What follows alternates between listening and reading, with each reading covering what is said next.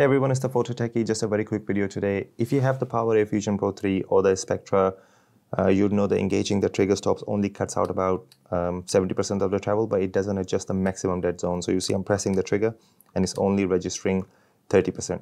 Some controllers like the enhanced, uh, they actually have the option in the Gamer HQ to do a calibration. You just press X and right trigger and it will go into a calibration mode. Unfortunately, the Fusion Pro 3 doesn't have that yet. So we have to do a manual calibration. The way to do a manual calibration is very easy. Unplug the controller. Before plugging it in, we need to press menu, uh, Xbox and um, view button uh, together and uh, plug the controller in. The LED light will start flashing. Now we need to rotate each stick three times. One, two, three. And then we need to press the triggers in three times.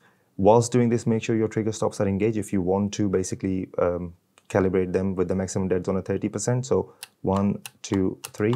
To get out of the calibration, press down on the D-pad and Y. The controller will basically be recognized by Xbox or if you were doing it on the PC. Go back in there. Now at 30%, I'm getting a full press registered. Uh, and uh, also this is good for calibrating your sticks as well if you are having issues if it can't reach all the way out and stuff. It doesn't do anything to the um, mid, uh, the middle dead zones, but yeah, just good to do it every now and then. One downside of this is if you're playing a racing game, your 100% is going to be at the shortest trigger stop.